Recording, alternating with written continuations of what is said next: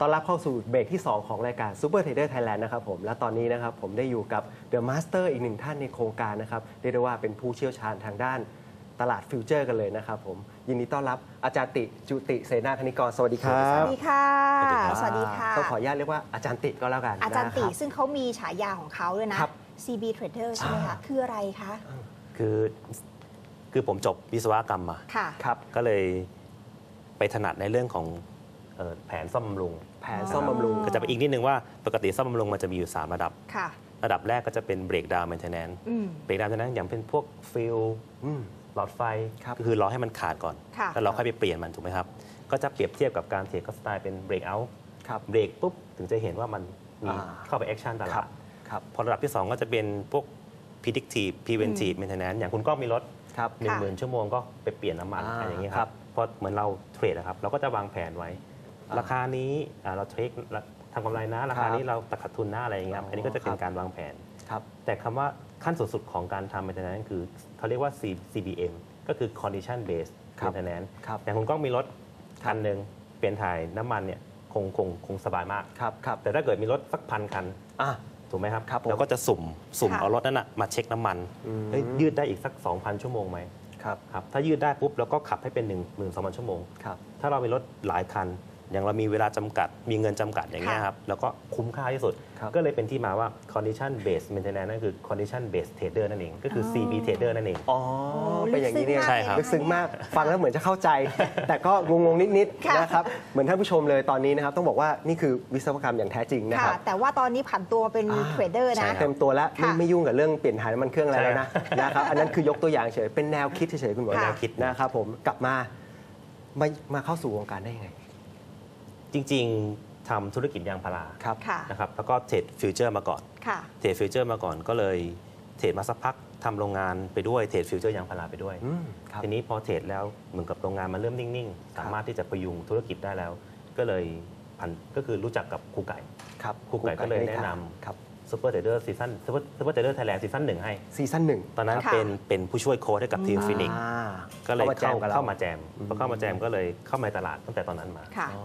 ก็ก็เลย คือประมาณ 3 ปีสามย้อนกลับสามไป ปีปีแล้วสามนะครัคะบตอนนี้ก็ถือว่าเป็นหนึ่งใน The The Master Master ใช่ครับ นะคะนะครับ แล้วปีนี้เนี่ยเป็นหนึ่งใน The Master มีการเตรียมอะไรที่เป็นไฮไลท์ให้กับคนที่เข้าแข่งขันร่วม 2,000 คนบ้างคะ ครับ ปีนี้ก็จะเป็นสอนในเรื่องของเทคนิค ค่ะนะครับแล้วก็จะเน้นในเรื่องของ TFEX ตลาดครับ TFEX ก็จะเป็นตัว Set 50 Index Future ครับทีนี้ก็คือโดยโดยโดยทั่วไปเนี่ยนักลงทุนที่เทรด future ค่ะต้องมีความรู้เรื่อง fu- ต้องมีความรู้เรื่องเทคนิคอยู่แล้วนะครับครับแต่ว่าเทคนิคส่วนใหญ่ที่ที่นักลงทุนใช้กันก็จะเป็นในรูปแบบของการดูราคาอืมแล้วก็ส่งออกแบบมาในรูปของ indicatorเพื่อให้มีสัญญาณซื้อจังหวะอืมซื้อจังหวะขายผ่านครับ indicator ครับแต่จริงๆก็คือนะเส้นอะไรตัดอะไรกันอะไรอย่างนั้นใช่ไหมครับแล้วก็ถนัดแบบถนัดดูพวก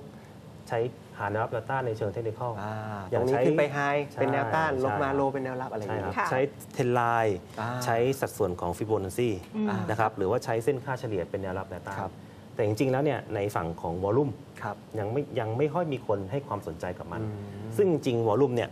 มันเป็นอะไรที่บอกเรื่องราวจริง ๆ ว่ามีการจับคู่กันจริง ๆ ในตลาด ค่ะ นั้นถ้าในอดีตนะครับ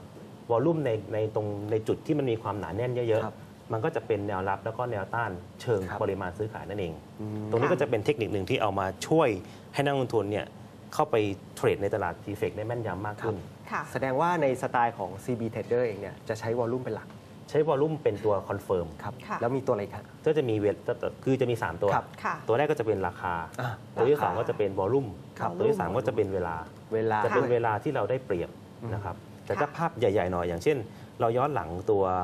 ตัวเซ็ตครับ50 ไปสัก 10 ปีอืมนะครับแล้วก็ดูว่า quarter ที่ 1 2 3 4 อย่างเงี้ยครับ quarter ที่1อะมีโอกาสที่จะเล่นขึ้นมากกว่าเล่นลงประมาณอืม70%ครับแล้วเราก็ดูไปว่าแล้วซีรีส์ถ้าเป็นซีรีส์2 3 4 อย่างเงี้ยครับครับมีแนวโน้มของเวลาครับที่เราจะได้เปรียบในเรื่องของ timing ครับยังไงอันนี้คือมองภาพใหญ่นะครับครับแต่ถ้าเราเรามองเวลาที่ซอยย่อยลงไปในภาพเล็กอืมก็คือถ้าเราเล่นสไตล์เหมือนกับเราเล่น false break เนี่ยครับครับ ก็จะเป็น false break ในช่วงท้ายๆชั่วโมง ครับ อย่างประมาณสัก11โมงครึ่งอืม3โมงครึ่งหรือครับ4โมงครึ่งนะครับ เพื่อเฝ้ากลับให้ให้ทิศทางเดิมเนี่ยยังคงยังคงเป็นเทรนด์นั้นอยู่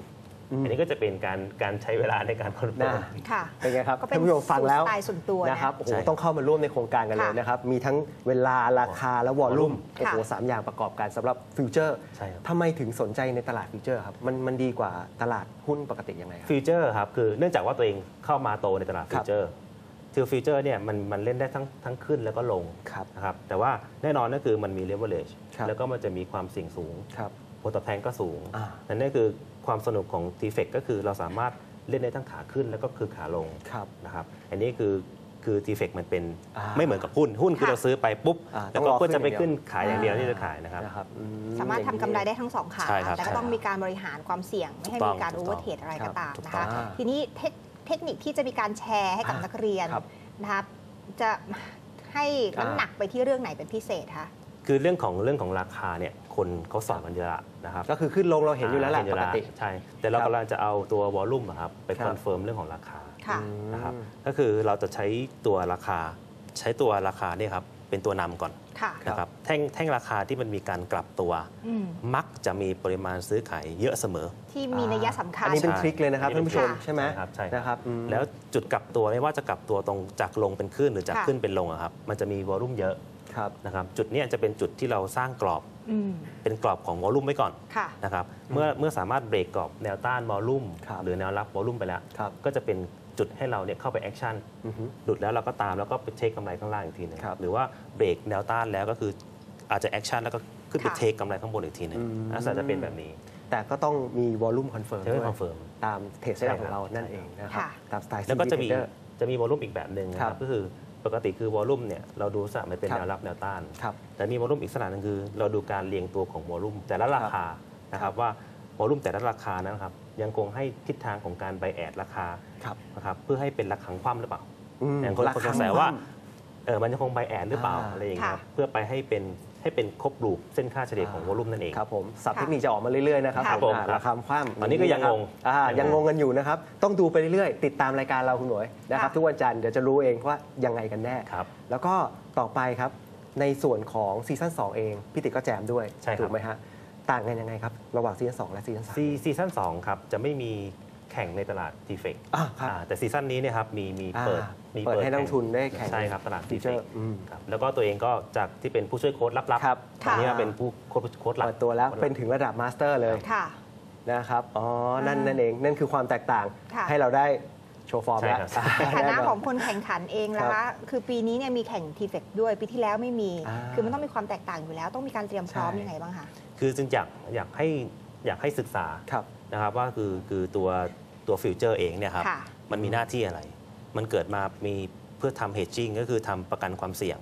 หรือทำสเปรดเทรดเดอร์ครับ หรือเล่นเป็นอาร์บิทาระหว่างครับซีรีส์ก็ได้ดูเหมือนคนไทยจะไม่ไม่ได้มองแบบอ่านั้ไม่นได้มองนะแบคะบนั้นก็ค่ะคืออาจจะเป็น directional trading ก็คือมองในแง่ของการเก็งกำไรอย่างเดียวเลยว่าครับเฮ้ยซื้อแล้วก็ทำทำกำไรอย่างเดียวครับไม่ได้มองเรื่องของการมองเรื่องของส่วนต่างตรงนี้อืมนะครับอีกอย่างหนึงก็คือในเรื่องของตัวระยะเวลาครับคือมันมี 4 ซีรีส์เป็น HMUZ ครับค่ะนั้นจะต้องรู้ได้ว่าระยะเวลาของมันเป็นยังไงนะครับแล้วเราเทรดสินค้าอะไร เราเทรด Set 50 Index Future นะครับก็จะเป็น underlying ของ Set ครับ50 เป็นหุ้นทั้ง 50 ตัวอ่านนะครับแล้วก็อีกส่วนหนึ่งก็คือ คนที่จะเทรด future นะครับควรจะมีความรู้ในเรื่องของ technical analysis ครับอย่างมากเลยนะครับครับเพราะว่าตัว technical analysis เนี่ย มันจะช่วยในการมองทิศทางตลาดนะครับคุณต้องดูชาร์ตเป็นนะต้องดูเาชาร์ตง่ายเป็นต้องดูชาร์ตเป็นคุณนะคจะรับมาจิ้มขึ้นจิ้มลงเดี๋ยวไม่ได้นะใช่เดี๋ยวมันเป็นการพนันใช่ๆตัวได้ค่ะใช่พอดูชาร์ตเป็นแล้วก็ต้องสำคัญเลยเทรด TFEX ต้องมี money management ค่ะครับนะครับต้องมี management อันนี้ถือว่าเป็นหัวใจเลยป่ะใช่ครับค่ะใช่แล้วเรื่องของใจล่ะคะต้องมีความเตรียมพร้อมยังไงบ้างในเรื่องในฐานะในเรื่ที่องก็เป็นเทรดเดอร์ในด้าน TFEXครับครับค่ะในเรื่องของของ mindset คือแน่นอนทุกคนจะต้องมีวินัยอืมคืออย่างเดียวเลยในการเทรด future คือคุณต้องมีวินัยค่ะครับ อย่างที่เราฟังเทปของพี่ปุ๋ยไปครับใช่ไหมครับ เราจะต้องก่อนเราจะก่อนเราจะยิงออเดอร์เนี่ยเราต้องมี 3 ค่าในใจละค่ะครับหนึ่งก็คือค่า take profit อืมครับถูกไหมครับสองก็คือค่าที่เรา stop loss ค่ะนะครับอ่าอ่าถูกไหมค่าที่เราตอนที่เราเข้าเนี่ยก็จะมี 2 อันละ entry exit stop ใช่อืมอ่าจะต้องต่อต้องรองแน่นอนได้ไหมแล้วอ่าต่อรองได้ไหมต่อรองได้ครับพอถึงไหมเอ๊ะขอขอจุดหนึงนะขอขคือถ้ารึ่งถ้าจุดถ้าต่อรองก็คือต้องมี lock profit อ่าอ่าเทลลิงไปเรื่อยๆเทลลิงไปเรื่อยๆยกอ่าฮะยกยกกำไรขึ้นไปเรื่อยค่ะๆโอครัเคบ ต้องมีการเทคแอคชั่นไประหว่างใช่ทางใช่ด้วยครับนะครับค่ะนี่ก็คือเคล็ดลับระดับมาสเตอร์ของเราอีกหนึ่งท่านค่ะครับคุณเหนือวันนี้ต้องขอขอบคุณอาจารย์ติมากคขรับอบคุณครับที่มาพูดท้าคุยยกับสุเราดนะท้ายเลยนะคะอะทิ้งท้ายช่วงนี้นะคะอยากจะฝากถึงคนที่แข่งขันทางบ้านนิดนึงค่ะว่าต้องเตรียมพร้อมอะไรยังไงบ้างใกล้ถึงวันแข่งค่ะเต็มทีแล้วกันยายนนี้กันยายนนี้ครับผมตอนนี้คือตลาดมันยังคงแกว่งตัวนะครับ จะขึ้นก็ยังไม่ชัดเจน หรือจะลงค่ะก็ยังไม่ชัดเจนนะครับ ตอนนี้ก็คือคงต้องเกาะในตลาดที่เป็นลักษณะมันสั้น ๆ ไปก่อนค่ะ นะครับแล้วก็สิ่งสำคัญเลยคือต้องวางแผนเรื่องของการเทรด วางแผนเรื่องของการเงินนะคครัรับบเพราะว่านักลงทุนแต่ละคนเนี่ยมันมีข้อจำกัดไม่เหมือนกันครับทุกคนเนี่ยมีข้อจำกัดในเรื่องของเงินครับในเรื่องของเวลาก็ดี หรือในเรื่องของสถานที่ก็ดีครับนะครับนะนั่นคือเรื่องของการวางแผนการเงิน เรื่องของการบริหารพอร์ตเรื่องของการเรียนรู้ครับศึกษาที่จะหาครับความรู้เพิ่มเติมก่อนที่จะเข้าตลาดเป็นสิ่งสำคัญอืมครับนะครับค่ะสุดท้ายแล้วคือเมื่อเราเข้าไปทดลองตลาดแล้ว ครับคุณจะลองผิดลองถูกจะทำ forward test หรือ back back test ก็แล้วแต่ครับสุดท้ายต้องมี record ครับนะครับ record นี่คือสิ่งสำคัญที่สุดค่ะเพื่อให้นักลงทุนเนี่ยรู้ว่าตัวเองเนี่ยผิดพลาดอะไรมากที่สุดค่ะครับนำข้อผิดพลาดนั้นมาเรียงลำดับอืม1 2 3 4 5ครับแล้วแก้ปัญหาที่สำคัญสำคัญก่อนอืมปัญหาอะน้อยๆเนี่ยมันจะหายไปเองครับผมนะครับอ่าอันนี้คือสิ่งที่ฝากจะฝากไว้มากๆเลยนี่คือคำแนะนำสำหรับนักลงทุนที่สนใจค่ะในการเทรด future ครับคุณหมวยนะครับ แล้วก็สุดท้ายอีกนิดนึงทราบมาว่า จะมีผลงานหนังสือค่ะ อ่าฝากถึงผู้ชมในรายการเลยครับ ก็จะมีหนังสือนะครับอ่าเป็นคู่มือของการเทรด Future เจอร์นะครับอ๋อค่ะ เป็นคู่มือจะเน้น ครับก็ในในนั้นก็จะมีกล่าวในเรื่องของข้อมูลทั้ง 3 ตัวเลย มีราคามี volume นะครับค่ะ แล้วก็มีเรื่องของเวลาครับ นะครับ ก็อย่างที่กล่าวไปก็คือจะเป็นเทคนิคเป็น trade setup ของตัวเองนะครับครับที่คิดขึ้นมานะครับอ่าแล้วก็ จะมีทั้งในเรื่องของ swing trade อืมในเรื่องของวอลลุ่ม analysis ครับค่ะในเรื่องของการเรียงตัวของ volume by price ครับนะครับเพื่อให้นักลงทุนเนี่ยสามารถนำไปปรับใช้ประยุกต์ใช้เข้ากับเทรดเซตของตัวเองได้ครับจะจำหน่ายในช่วงเดือนไหนคะอ่าประทรามาบณไหมครับกันกันยาใกล้ๆใกล้ๆเร็วๆนี้แล้วกันในะคะอ่ายังไงประก็มาเดี๋ณยวรอเร็วๆติดตามได้ที่แผงหนังสือใช่แล้วนะคะครับวันนี้ต้องขอครับขอบคุณคุณจุติมากๆเลยนะคคะรับขอบพระคุณครับรับขอบคุณค่ะสวัสดีครับเอาละครับคุณหมวยก็ ฝากท่านผู้ชมนะครับ ติดตามรายการของเราได้ทุกวันจันทร์นะครับ 10 โมงที่ Nation TV ช่อง 22 นี้เลยครับผม ค่ะ ติดตามรายการย้อนหลังได้ทาง YouTube ด้วยนะคะ แล้วก็อย่าลืมไปคลิกไลค์แฟนเพจ Super Trader กันเยอะ ๆ ค่ะ ครับ วันนี้เรา3คนและทีมงาน สวัสดีค่ะ สวัสดีครับ